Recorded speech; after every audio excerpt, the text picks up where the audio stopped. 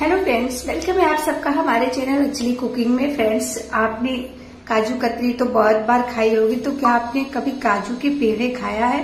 तो आज मैं बना रही हूँ बहुत ही टेस्टी अमेजिंग काजू के पेड़े। तो यहाँ पे मैंने पेड़े बनाने के लिए छिलके वाले काजू लिए हैं। लो क्वालिटी के थोड़े काजू है। तो इसमें थोड़ा सा हमें टाइम देना पड़ेगा। इसका जो छिलका है, इसे हम थोड़ा बैठ के थोड़ा सा इसे टाइम देके अच्छे से इसे निकाल लेंगे इस छिलके को। तो यहाँ देख सकते हैं छिलका कितनी अच्छे से क्लीन हो चुका है इसके काजू का। और काजू भी अंदर से बिल्कुल ही फ्रेश है। तो यहाँ पे देखिए, सारे काजू को हम पहले साफ़ कर लेते हैं। तो बहुत ही अच्छी रेसिपी है। ज़रूर से ट्राई करिएगा। फास्ट वगैरह में भी आप खा सकते हैं। तो यहाँ पे सारे काजू को हमने साफ़ कर लिया है। छिलके ऑलरेडी निकाल चुके हैं हमने। और काजू भी देखिए कितने अच्छे से दिख रहे हैं, बिल्कुल फ्रेश है। कहीं से इसमें कोई भी खराबी नहीं है।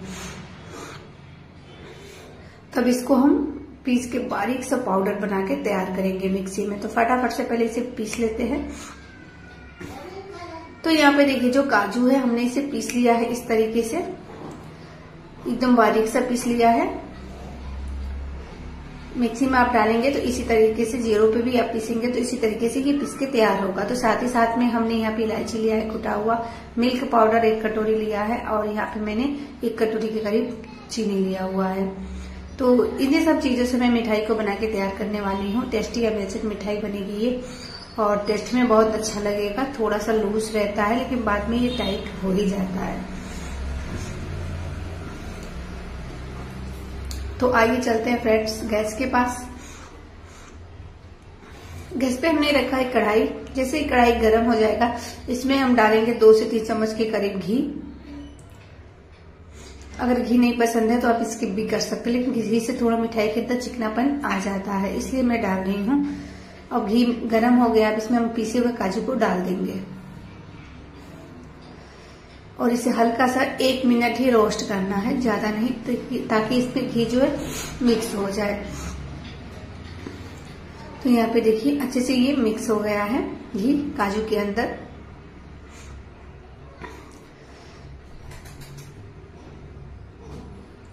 अब जैसे ये मिक्स हो जाएगा, वैसे इसी हिसाब से हम इसमें चीनी को डाल देंगे। चीनी को भी अच्छे से दोनों को मिक्स करेंगे पहले। चीनी इतनी जल्दी नहीं गलेगी। अगर थोड़ा इसे लो फ्लेम पे आप टाइम देंगे तो चीनी गल जाएगी, लेकिन कोई नहीं, पहले मिक्स कर लेना है चीनी को।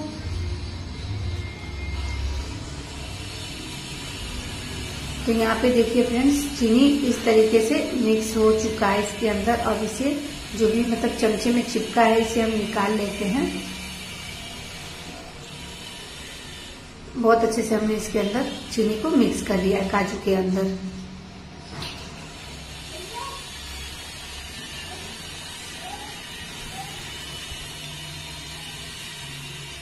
अगर आप चाहें तो चीनी बाद में भी डाल सकते हैं, लेकिन चीनी को भी थोड़ा सा रोस्ट करना होता है। अब इसमें हम डालेंगे आधा गिलास पानी और इसे मिक्स करेंगे। इसमें गुट्ठे बिल्कुल भी नहीं रहने चाहिए। अभी आधा गिलास के करीब पानी और हम डालेंगे इसमें। अब चीनी बहुत तेज़ी से मेल्ट होगा, काजू के अंदर।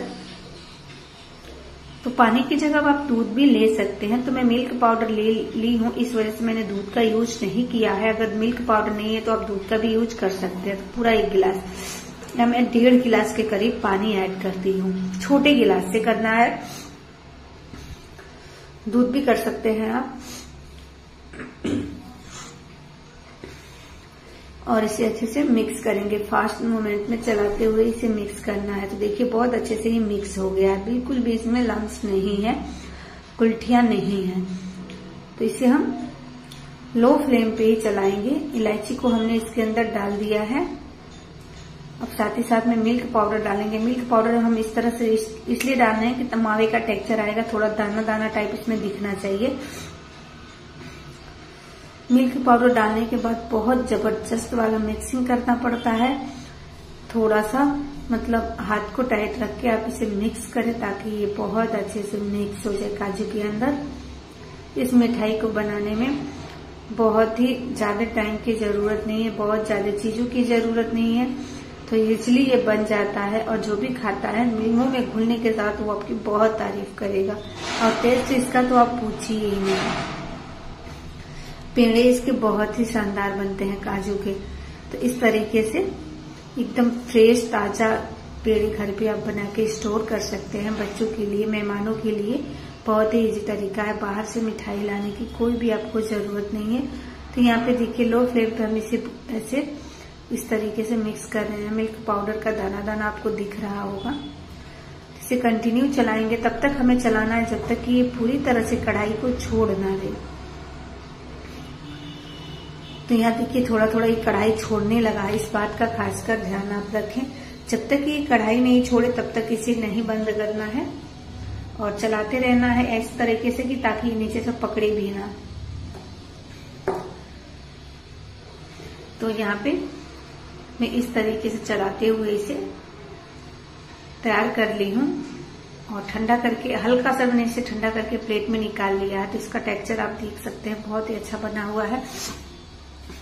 अब हाथों में पानी या घी कुछ भी थोड़ा सा आप लगा लीजिए और लगा के अपने अकॉर्डिंग छोटा बड़ा पिघड़ा आप तैयार कर सकते हैं काजू का। तो यहाँ पे देखिए मैं इस तरीके से पीड़े को तैयार कर रही हूँ। थोड़ा सा ये नरम है तो बाद में टाइट हो जाएगा।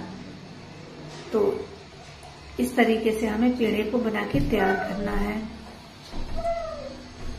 अब इसे हम प्लेट में रखते जाएँगे। फटाफट से सारे पेड़े को हम बना लेते हैं। दूसरा भी मैं बना के दिखा देती हूँ। उसी तरीके से आपको। बहुत ही अच्छी, बहुत ही प्यारी सी रेसिपी है मिश्रित की।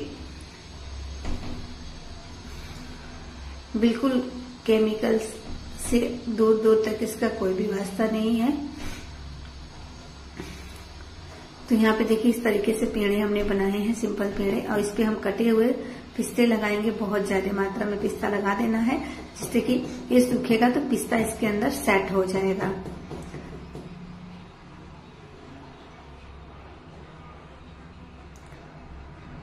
सभी पे मैं लगा रही हूँ फ्रेंड्स।